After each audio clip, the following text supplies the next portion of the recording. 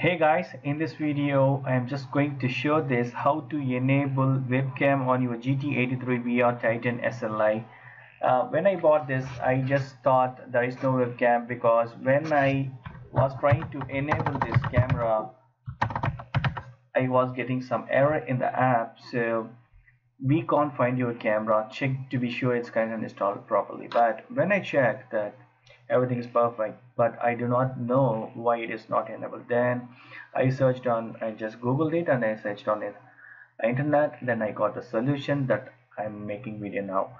So definitely it would be helpful those who do not have known.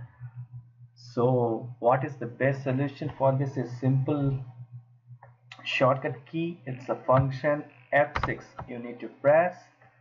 Then you can see this video uh, don't I mean um, think about the clarity because this is a night I'm using just night bulb so that is there is no proper clarity here. So it is actually uh, enabled so I'm going to disable it now by pressing F function F6 so I'm going to again enable it. So this is the simple method. So thank you so much for watching my video. Hope this video is very much helpful. Uh, please provide comments and feedbacks in my video forms and please do not forget subscribe my channel. Thank you. Bye